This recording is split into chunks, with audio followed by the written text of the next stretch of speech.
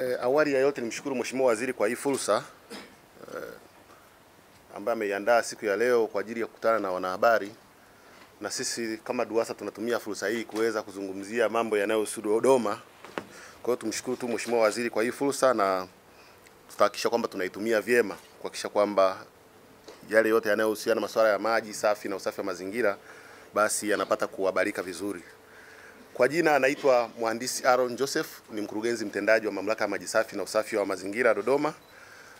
E, kabla sijazungumzia hali ya huduma ya maji safi na usafi wa mazingira jijini Dodoma na njia au mambo yanayotekelezeka au mipango ya muda mfupi, ya muda wakati na muda mrefu ambayo tunatekeleza kama, e, kama DUWASA ili kuboresha huduma ya maji katika jiji la Dodoma, nipende kuwashukuru waandishi na wahariri walioko Dodoma, lakini pia na walioko nje ya Dodoma kwa namna ambavyo wamekuwa wakitupa ushirikiano wa kila namna.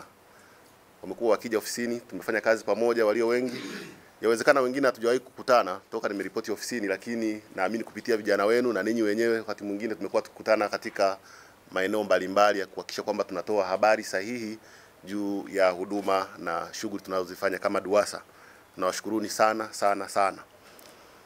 Mheshimiwa Waziri, kama ulivyoelekeza, niweze kuzungumzia swala la huduma ya maji. Umezungumzia kidogo swala zima la hali ya uzalishaji.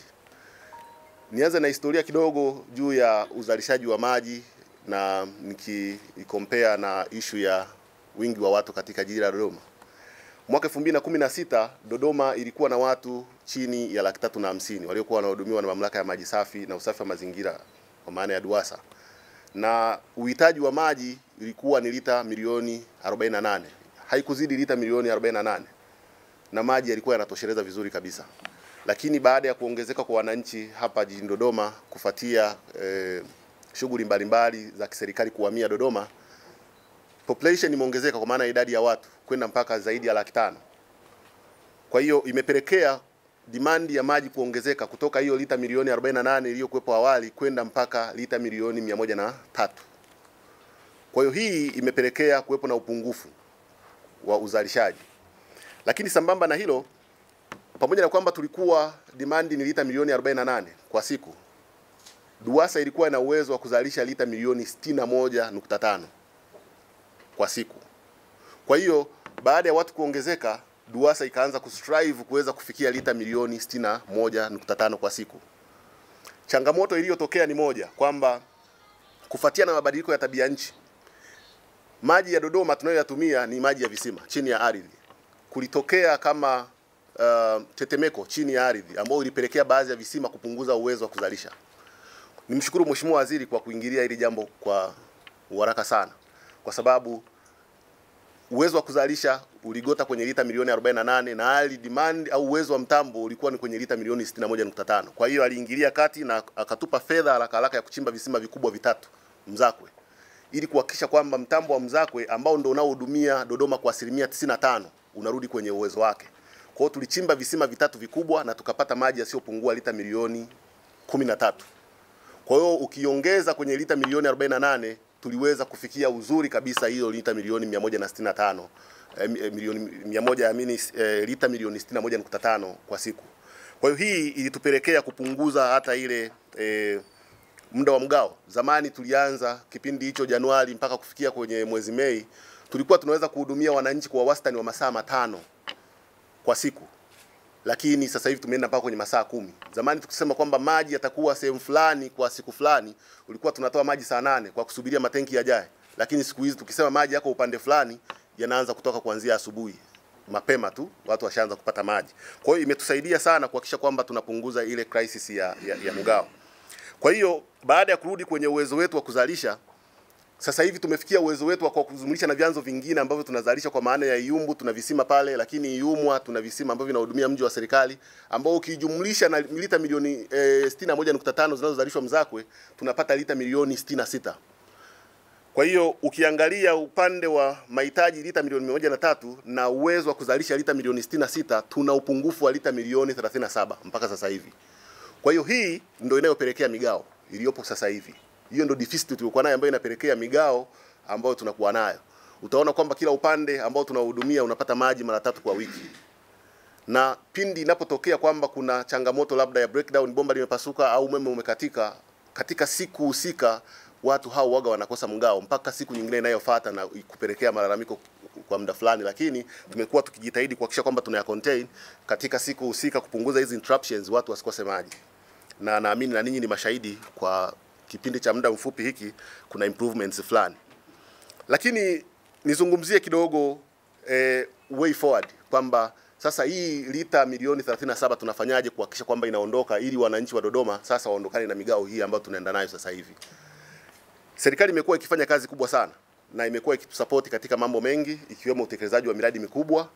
Uh, tunafanya utekelezaji wa mradi sasa hivi mmoja wa kuleta maji kutoka Ihumwa. Tumeongeza visima pale, tunachimba tumechimba visima vitano vya ziada pale Ihumwa na tumelaza bomba lenye kilomita 11.6 kutoka Ihumwa kuja Njedengwa, lakini pia tunaweka mtandao wa kilomita eh, 5.6 ili kuhakikisha maeneo ya pembezoni ya Nzuguni, Iyumbu, upande wa FFU, upande wa Mwangaza, nyumba mia tatu kote wanaweza kupata maji kupitia hivyo visima ambavyo tumeongeza Ihumwa, na sasa hivi tumefikia asilimia tisini na sita ya utekelezaji wa mradi huo. Nimshukuru Mheshimiwa Waziri amezungumza kabisa hapa kwamba kweli ametupatia shilingi bilioni mo- moja nukta tatu kwa ajili ya kukamilisha mradi huo, na tu- tumhakikishie kwamba kufikia mwezi wa kumi mwishoni lazima tuwe tumekamilisha mradi huo lakini hata kabla ya mwezi wa kumi mwishoni, nimwahidi tu Mheshimiwa Waziri kwamba ndani ya mwezi huu wale ambao wako connected tayari naamini wataanza kupata huduma hiyo. Wale ambao wanasubiri distributions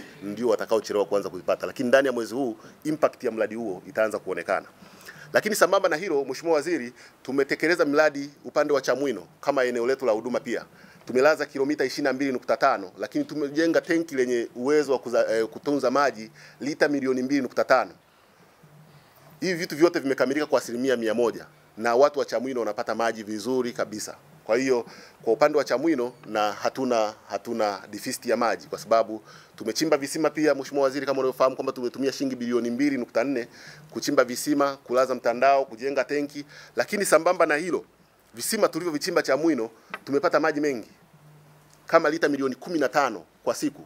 Demand ya Chamwino ni lita milioni tatu nukta tano kwa siku. Kwa hiyo kuna maji ambayo Chamwino wanaweza yakatumia zaidi ya miaka kumi ijayo. Zaidi ya miaka kumi ijayo Chamwino itakuwa na, na, na maji ya kutosha. Lakini pia sambamba na hilo, nishukuru tu Mheshimiwa Waziri amezungumzia mradi wa miji 28 kwamba Chamwino ni sehemu ambayo itanufaika na mradi wa miji 28 na kupitia mradi huo basi watapata kusambaza maji yale ambayo tumeyapata katika maeneo ambayo hatujaweza kuyafikia ambayo yanahudumiwa na RUWASA. Uh, sambamba na hilo juhudi ambazo zinafanywa na serikali kwa maana ya juhudi za muda wa kati ni ujenzi wa e, bwawa la Falkwa katika wilaya ya Chemba. E, Benki ya Maendeleo ya Afrika imeonyesha nia ya kufadhili sehemu ya mradi huo na kuanzia tarehe kumi na tatu mwezi huu mpaka tarehe 25 tutakuwa nao hapa kwa ajili ya misheni ya pili ili kuhakikisha wanapokwenda kwenye bodi yao ma, e, katika kikao kinachokuja taratibu zote zinazohusiana na kupata mkopo huo wenye masharti nafuu zinakuwa zimekamilishwa. Sisi upendo wetu kama DUWASA tumekamilisha masuala yote kama tulivyoelekezwa na wizara kwamba compensations zote ambazo zitakuwa kufanyika katika eneo la ujenzi wa bwawa zifanyike, tumekamilisha. Kuhamisha makaburi na kadhalika, vitu vyote ambavyo vitakiwa kuhamishwa vyote tumeshakamilisha, ili wanapokuja kuanzia tarehe kumi na tatu tuhakikishe kwamba kila kitu kiko vizuri na tusikose hiyo pesa. Kwa hiyo tunaona kwamba ujenzi wa bwawa la Falkwa inaweza ikawa ni juhudi za muda mfupi za kupata maji katika siku za karibuni. Ujenzi wa bwawa la Falkwa tunategemea kupata maji yasiyopungua lita milioni 128 kwa siku. Hii itakuja kuondoa deficit tuliyokuwa nayo ambayo tunaizungumzia lita milioni e, 37 kwa siku hapa jijini Dodoma. Sambamba na e, kwamba mradi wa Falco utahudumia jiji la Dodoma, utahudumia pia na Chemba ambako ndiko bwawa litajengwa, lakini upande wa Bai eh, na upande wa Chamwino. Kwa hiyo mradi huo una component kubwa ambayo inalenga e, e, kuhudumia maeneo yote hayo. Uh, sambamba na hilo kuna mradi wa Ziwa Victoria ameuzungumzia kidogo Mheshimiwa Waziri eh, ambao sasa uko katika hatua ya kufanya feasibility study ili kuhakikisha kwamba sasa na wenyewe unaenda kwenye implementation wa kutoa maji Ziwa Victoria kuleta mpaka Dodoma.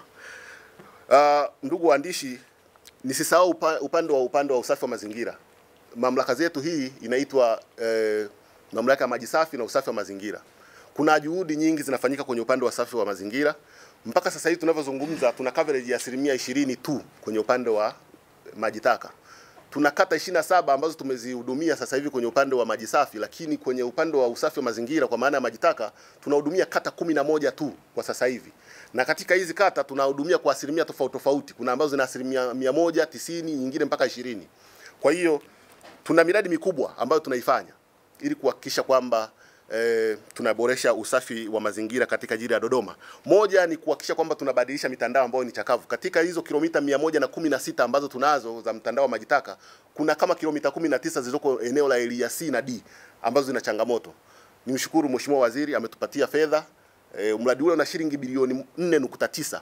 So far ameshatuletea advance payment, tumemlipa huyo mkandarasi na yuko site. Mkitaka kwenda kuhakiki mnaweza ukaenda eneo la area D na C. Kazi hiyo inafanyika ya kubadilisha kilomita kumi na tisa ili kuhakikisha zile blockage zilizokuwepo katika eneo hilo zinaondoka. Lakini sambamba na hilo, ili Dodoma iendane na jiji sasa, uh, wizara imetufanyia jambo kubwa sana, imeendelea kutupigania. Tumeshafanya design ya kuhakikisha kwamba sasa tunaongeza mtandao usiopungua kilomita 250 katika eneo la jiji la Dodoma kwa maana kama tulikuwa tunahudumia kata 14 sasa tunaenda kuongeza kata 11 za za za huduma kwenye upande wa majitaka. Lakini pia tuna mabwawa ya kutibu majitaka yaliyoko maeneo ya Swaswa yamekuwa yatoshelezi kwa sasa hivi, ambacho kinaenda kufanyika kupitia mradi huu ambao tunaenda kutekeleza sasa hivi uh, ni kujenga mabwawa 16 katika eneo la Nzuguni. Kwa hiyo wizara imetusaidia kuhakikisha kwamba tunapata mkopo wenye masharti nafuu kutokea serikali ya Korea kupitia Exim Korea, ambao katika hatua za mwisho kabisa za signing E, pesa hii ni bilioni 161 kwa maana ya USD milioni sabini ambayo inalenga kwenda kuongeza mtandao huo kilomita e, 250 kujenga mabwawa 16 lakini pia kuongeza wateja wasiopungua elfu sita. Kwa hiyo hii mradi huu ukitekelezeka, nipate kumhakikishia Mheshimiwa Waziri kwamba hakuna mkoa au hakuna mamlaka ambayo itakuwa na mtandao mkubwa wa maji taka kuizidi Dodoma. Itakuwa ni ya kwanza na itakuwa ina reflect makao makuu wa nchi. Mheshimiwa Waziri, naamini nimezungumza mengi, lakini sio mbaya pia kuwa kuzungumzia swala la upande wa huduma kwa wateja. Uh, tuna magrupu mengi ya huduma kwa wateja ambao tumekuwa tukiyatumia kuhakikisha kwamba tunahabarishana mambo mbalimbali yanayohusu DUWASA. Naamini walio wengi wenu mpo katika magrupu hayo, lakini wengine inawezekana baada hamjaingia humo. Nitumie fursa hii kuwaomba kwamba baada ya hapa, kama mtakuwa mmefanya registration vizuri kwenye e, karatasi, basi namba zenu zipate kujumuishwa katika magrupu yetu ili muweze kuzipata taarifa zikiwa raw, kwa sababu kuna baadhi ya watu wamekuwa wakipotosha taarifa. Unatoa taarifa fulani, wao wanatoa nyingine tofauti, ili mradi tu kupindisha juhudi zinazofanywa na serikali. Kwa hiyo kupitia forum hii mtusaidie kuingia katika magrupu hayo ili muweze kupata taarifa sahihi kutoka DUWASA. Lakini sambamba na hilo, tuna namba yetu ya call center. Mheshimiwa Waziri amekuwa akitusisitiza swala la call center ili kuhakikisha kwamba wananchi wanapata ma, eh, eh, huduma wakati wote. Sisi tuna namba yetu ya call center ambayo ni bure, wananchi wakipiga wanapata taarifa zote au tunawajibu eh, kuhusiana na hoja zao. Namba yetu ni 0800110078. Hii imekuwa ikipigwa muda wote, tumekuwa tukipokea taarifa, lakini sambamba na kupokea taarifa tumekuwa tukitoa hata mrejesho wa taarifa ambazo zinatolewa kupitia mfumo wetu wa CRM. Baada ya kuyasema hayo, Mheshimiwa Waziri, nakushukuru sana kwa hiyo fursa kwa mara nyingine, lakini pia niwashukuru wanahabari kwa siku ya leo na niwakaribishe kwa ajili ya ushirikiano katika shughuli zetu za kila siku. Asanteni sana.